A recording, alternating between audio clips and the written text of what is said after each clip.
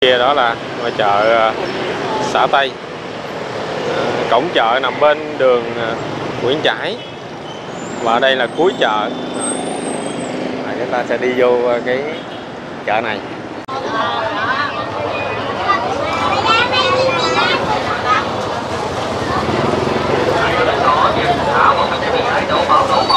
À, rau câu à, trứng chè. Đây à, cung đường Nguyễn Trãi này bán rất là nhiều đồ thể thao nữa. À, ngay góc đường Tảng Đà và Nguyễn Trãi bên hông chợ xã Tây. À, không biết ngày xưa thì có bán như thế này không? À, đi cung đường này rất là sướng à, mát.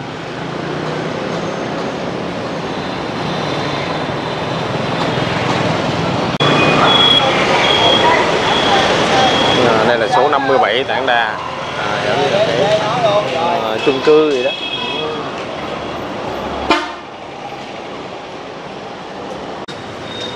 À, ở đây có một cái nhà xe. À, đó là nhà xe Đại Ngân. À, xe đi về à, Tiền Giang Bến Tre.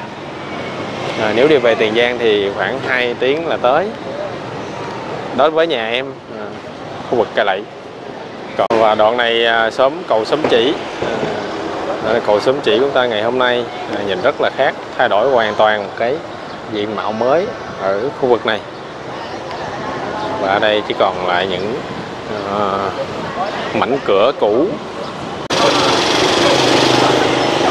Xin chào tất cả cô chú anh chị và các bạn. Chúc cô chú anh chị bạn cuối tuần vui vẻ và thật nhiều sức khỏe nha. À, cuối tuần hôm nay à, em có dịp đi ra cái khu vực chợ lớn này nè.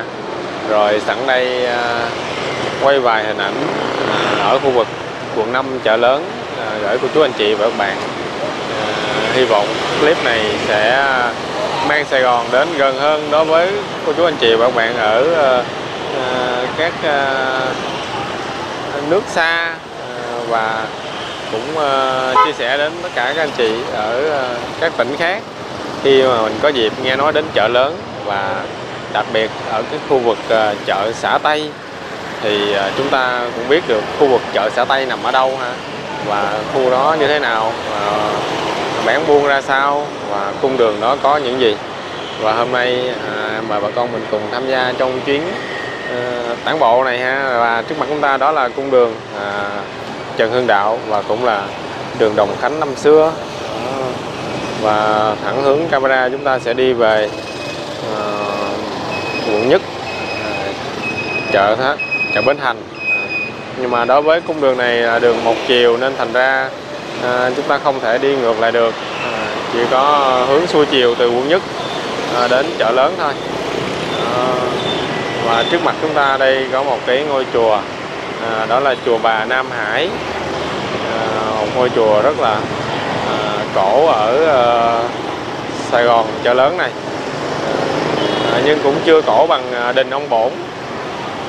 À, nhưng mà dù sao cũng là một công trình kiến trúc của ngày xưa. À, nếu mà cô chú anh chị và bạn đã từng à, à, sinh sống tại khu vực chợ lớn chợ xã Tây thì chúng ta sẽ à, không thể không biết ngôi chùa này ha. Và phía sau ngôi chùa đó là cái trường học uh, cấp 3 cấp 3 ở Việt Nam là lớp 9 uh, đó là lớp 10, lớp 11, lớp 12 uh, trường cấp 3 trường Hữu Trang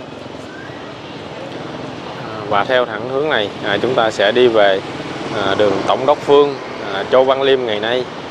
À, và hôm nay hành trình hôm nay em mời bà con mình cùng à, à đi dạo một vòng à, cung đường à, Đồng Khánh. À, rồi mình sẽ đi à, qua vô chợ xã Tây rồi à, qua cung đường Nguyễn Trãi đi ngang con đường Tán Đà đến à, cầu Sớm Chỉ. À, à, và chúng ta thấy đây là con đường Phạm Đôn. À, và cuối con đường này chúng ta sẽ à, đi ra cái à, đường Hải Thượng Lãng Ông. À, đường khổng tử năm xưa đó.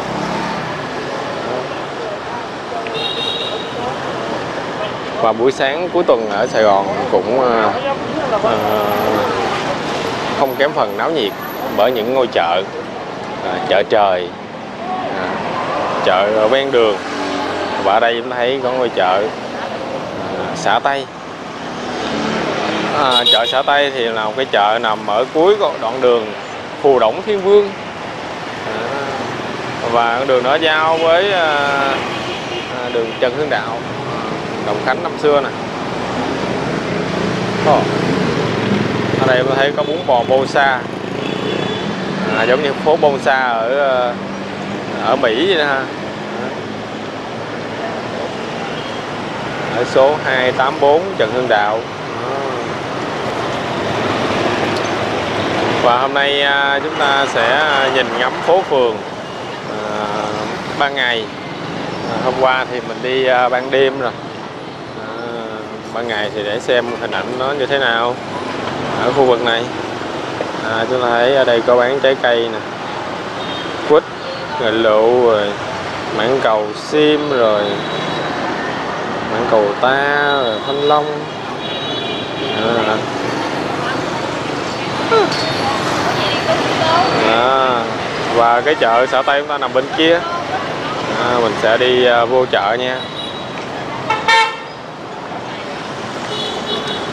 Chợ ở Việt Nam thì lúc nào cũng vậy. À, có một cái cụm chợ chính và à, ven chợ thì có à, những tiểu thương khác bán những cái trái cây những cái à, à, gian hàng tạp hóa. À, à mình nhìn bên kia đó là chợ à, xã Tây. À, cổng chợ nằm bên đường à, Nguyễn Trãi. Và đây là cuối chợ. À, à chúng ta sẽ đi vô à, cái chợ này và chợ này buổi chiều bán rất là nhiều đồ ăn. À, có ốc có cà ri uh, cà ri vịt rồi nước sâm rồi rất là nhiều. À, rồi chúng ta vô nha. Và ngôi chợ này à, được ví như là cái địa đạo củ chi. À, tự vì à, cái lồng chợ nằm ở dưới những cái những cái dù à.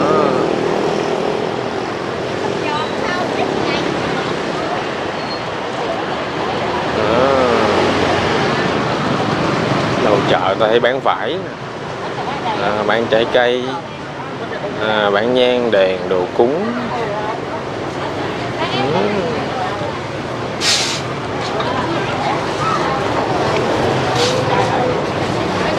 Quần áo à.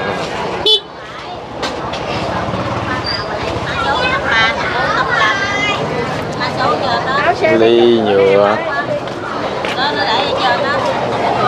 À, cẩm thạch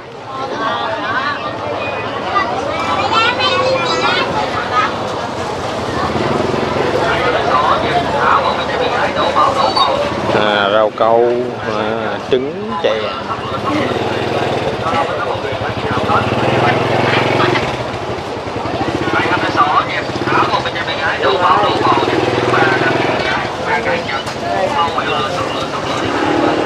Wow cốc chín cốc chín nè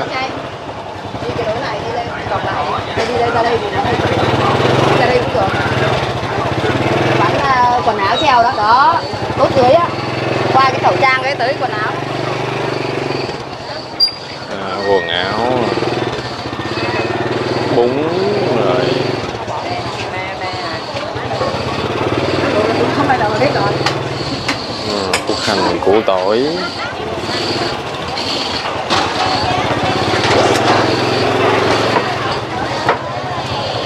à, tôm khô ờ, củ tỏi.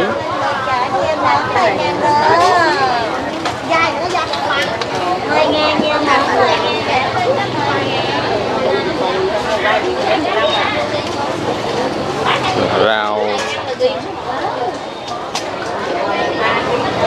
Và không thể thiếu à, đó là trái cây. À, trái xay trái xoài.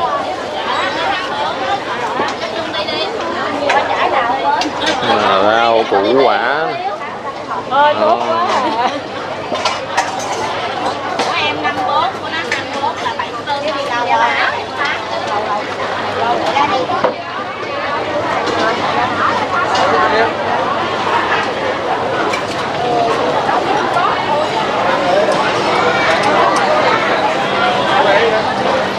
gần chợ này rất là mát Đó, thịt cá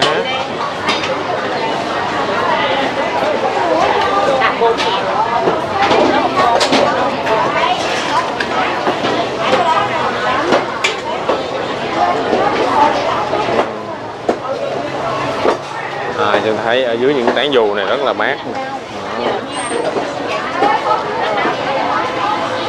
À, và bên đây là thịt thịt lợn. Cật à, xe bánh mì.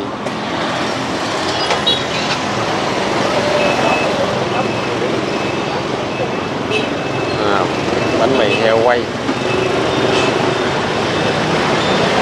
Rồi chúng ta ra đây là đường à, à, Nguyễn Trãi. À, thẳng hướng camera mình sẽ đi về quận nhất nè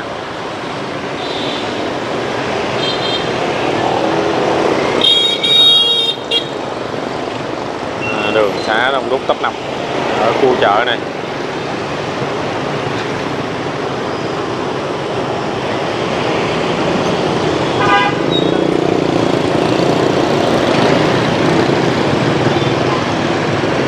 À, tại chợ xã Tây nha. Đó. À, cổng chợ nằm ở bên đường Nguyễn Trãi nè. À, bà ngôi chợ đi dọc theo con đường Phù Động Thiên Vương ở cuối đoạn đường là giao với Trần Hưng Đạo.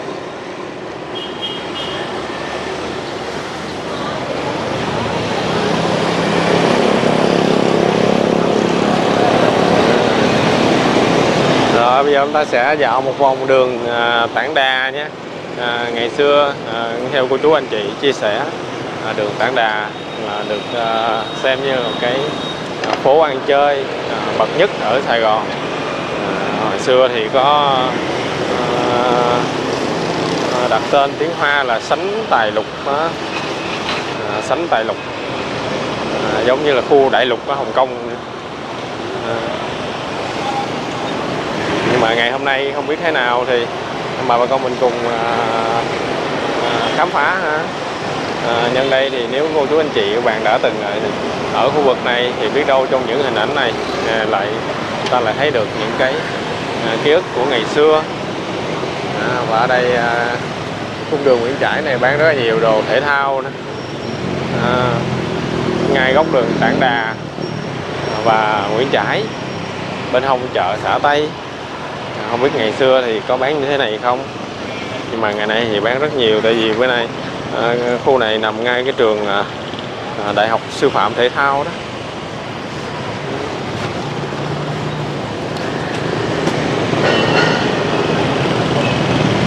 Nay cái trường đại học sư phạm thể dục thể thao nằm ở đây. Đó. ngôi trường rất là lớn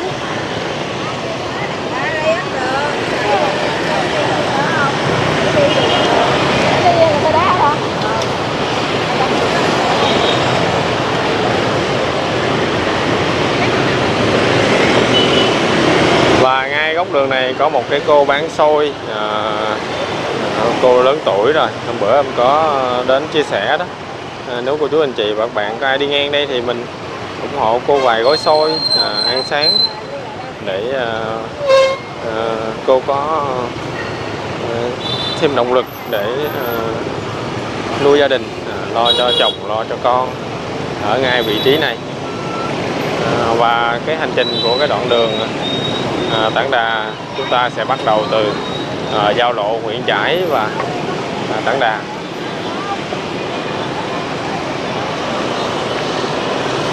à, theo thẳng hướng này là chúng ta sẽ đi đường Nguyễn Trãi về quận Nhất à, Nguyễn Hoàng à, rồi à, Nguyễn Duy Dương. À, theo hướng này chúng ta sẽ đi ra đường à, Hồng Bàng. À, và nơi đó có rất nhiều bệnh viện à, bệnh viện Phạm Ngọc Thạch à, bệnh viện à, Đại học Y Dược. Ở cái đoạn đó có à, rất là nhiều và cung đường này đặc biệt là có cái hàng cây hàng me à, rất là mát. À, không biết có từ bao giờ. Rồi chúng ta sẽ bắt đầu ở cung đường này. Và ngày hôm nay à, để chúng ta nhìn lại coi cung đường này à, có cái tụ điểm ăn chơi như thế nào còn mang dấu dấu tích gì của ngày xưa hay không? À, nếu có cô chú anh chị cho em xin cái comment ha. Tại vì bây giờ em nhìn thấy cũng uh, không thấy gì là ăn chơi cả. À, con đường này à, à, rất là ngắn và rộng rãi mát mẻ. À, có nhiều building. À, ở đây em thấy có một cái chung cư. À, ngay đầu đường à, Nguyễn Trãi và Tảng Đà luôn nè. Đó. À,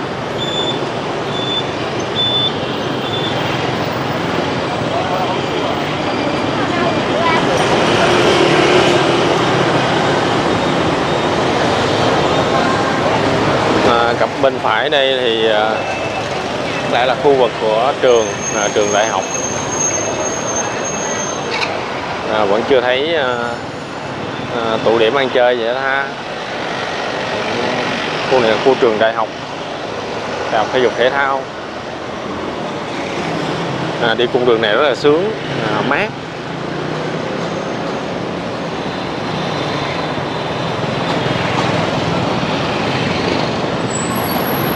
Khi mà mùa đông sắp đến thì các anh chị à, ngồi ghế sofa ghế ờ, massage và chúng ta bật tivi lên xem những hình ảnh à, trời nắng như thế này ở Sài Gòn.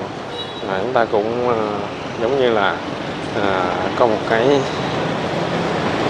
à, không khí à, một cái nắng ấm. Qua video này cũng xin gửi à, ngàn lời yêu thương đến tất cả cô chú anh chị à, cũng như à, à, các bạn đã luôn ủng hộ và à, đồng hành với à, Vinh Lâm TV à, trong suốt chặng đường vừa qua. Đó, và hôm nay đã có hơn 10.000 à, cô chú anh chị đã subscribe à, và đăng ký kênh để theo dõi kênh. Anh em cũng xin gửi lời cảm ơn vào cái nắng cái ấm này à, xin gửi đến à, tất cả những cô chú anh chị ở à, các quốc gia à,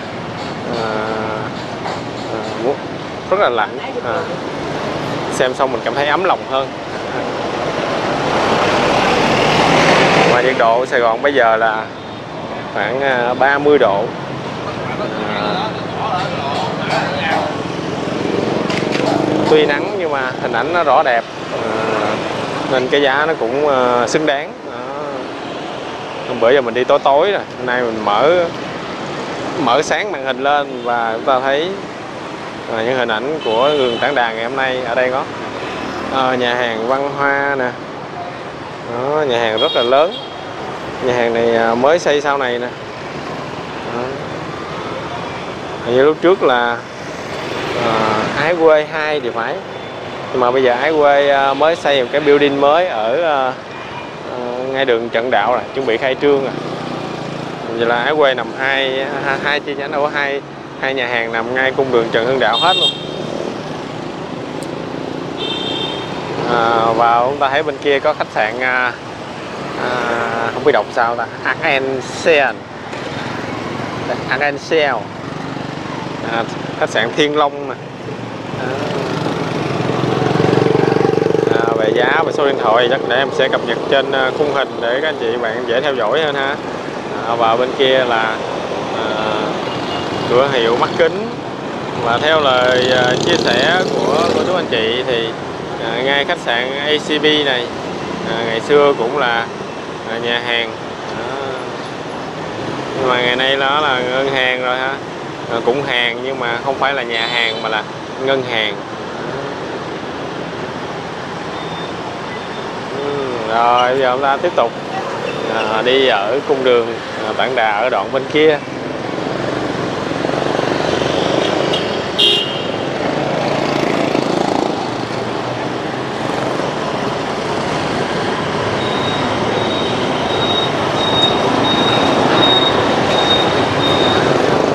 À, khách sạn bên đây thì rất là đẹp ha.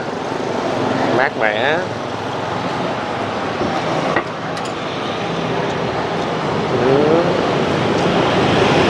52 56 tảng đà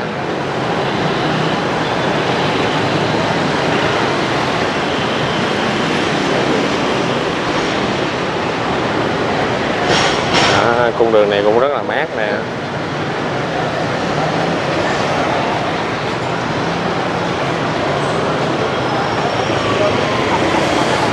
À, bạn thấy ở đây có những cái căn nhà à, có kiến trúc thời xưa. À, rất là đẹp luôn à, nguyên dãy luôn nè.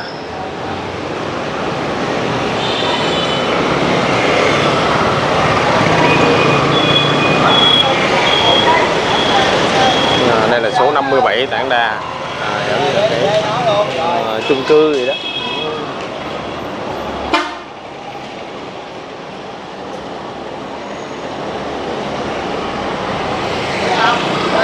À, rồi mình nhìn bên kia thì à, à phòng khám mắt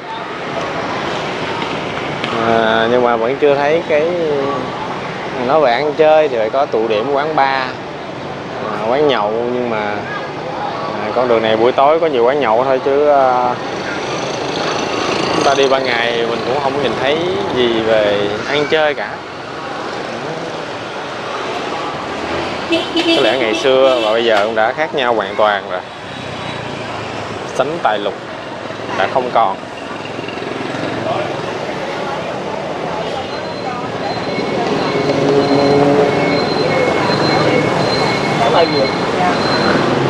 À, và ở cuối đoạn đường này ngày xưa có một cái à, à, cầu à, đó là cầu sớm chỉ. Không biết ngày xưa cô chú anh chị có ức về cầu sớm chỉ hay không? Một cái cầu sắt à, à, bị sập. Có lẽ qua thời gian đã à, mục khi mà rất nhiều người Ờ, hiếu kỳ bu lên để xem một cái uh, một cái vụ tự tử một cái uh, hoặc là hay là cái tai nạn gì đó ở dưới sông là bỗng nhiên cây cầu sập luôn. Rồi kéo theo rất nhiều người uh, cũng uh, thương vong uh, trong cái trận sập cầu đó. Uh, và đây là đường An Điềm. Đường An Điềm uh, cuối đường An Điềm này có cái trường đại học quốc tế à, đó là trường Hồng Bàng. À, nếu mà cô chú anh chị có con em đi học trường này và ở trọ khu vực này thì chúng ta cũng có cái để tham khảo khu vực này như thế nào. À, và chúng ta nhìn lại cung đường vừa đi qua nè. À, còn cái vụ sập cầu sớm chỉ lúc nãy thì đó là những từ tài liệu em đọc được trên internet. Và nhân đây cũng chia sẻ đến các anh chị nếu mà có thông tin sai sót. À, mong bà con thông cảm và bỏ qua ha, cho em xin cái comment để em biết rõ hơn. Và ngay góc này có một cái chung cư. À, chung cư rất là à, lớn và à, ở đây có một cái nhà xe. À, đó là nhà xe Đại Ngân. À, xe đi về à, Tiền Giang Bến Tre. À, nếu đi về Tiền Giang thì khoảng 2 tiếng là tới. Đối với nhà em à, khu vực Cà Lậy còn đi về Bến Tre thì chắc cũng tầm có 2 tiếng hơn. À, và ngày nay nhà xe này cũng có xe limousine. À, để sẽ à, để số điện thoại và thông tin à, à, trên màn hình để cô chú anh chị có dịp thì mình à, đi tuyến này à, khám phá miền Tây. À, nhà xe Đại Ngân.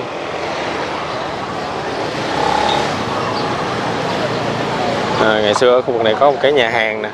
À, nhưng mà nhà hàng này bây giờ đã không còn nữa rồi. À, nhà hàng bây giờ là thành cái building chuẩn bị mọc lên.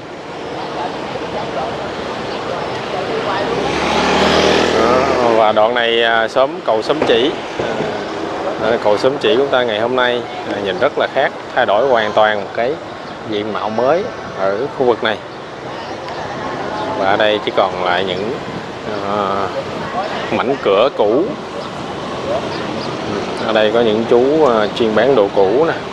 À, những cái uh, nhà người ta uh, bỏ đi đó rồi họ thu về rồi họ bán đồ cũ. À, cửa cửa sổ nè. Kệ tủ giường.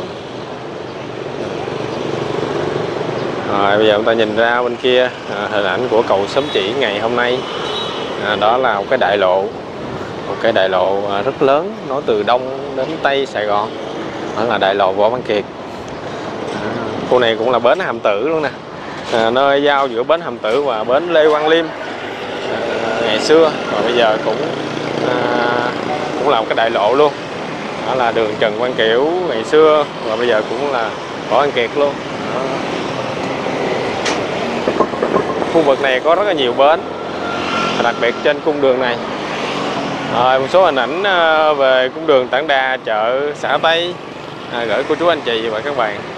À, chúng ta cùng nhìn lại cung đường Tảng Đà một cái ờ, cung đường sánh tài lục theo lời chia sẻ của cô chú anh chị và ngày hôm nay. À, mình đi để xem lại và video đến đây cũng đã dài rồi chắc em xin tạm dừng và hẹn gặp nhau trong video tiếp theo nha. Để chúng ta sẽ đi một đoạn đường à, khổng tử. À, để à, xem như thế nào sẵn tiện mua thuốc cho cha luôn. Rồi chúng ta sẽ kết thúc hành trình ngày chủ nhật hôm nay tại chợ lớn. Rồi bây giờ thì xin chào và hẹn gặp lại